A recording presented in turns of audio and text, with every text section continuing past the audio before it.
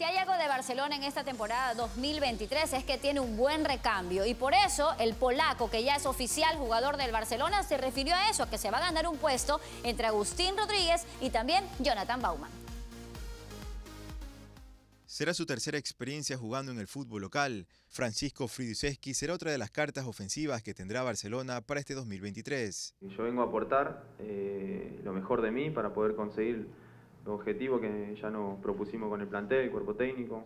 Un orgullo vestir la camiseta del más grande eh, de Ecuador. El Rosarino no prometió cantidad de goles, pero sí el compromiso de superarse partido tras partido. No me propongo eh, cierta cantidad de goles, me quiero mejorar conmigo mismo y superar, así que esa es mi meta.